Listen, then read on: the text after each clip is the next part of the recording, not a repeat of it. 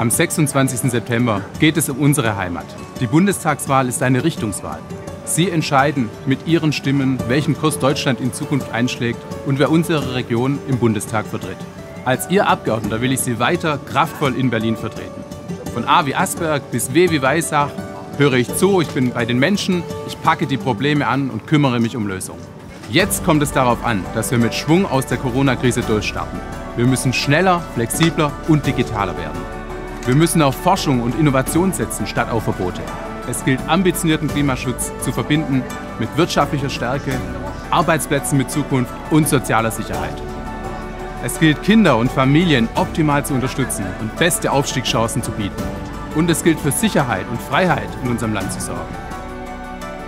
Dafür ist die CDU die verlässliche Kraft. Und dafür kämpfe ich als Ihr Abgeordneter.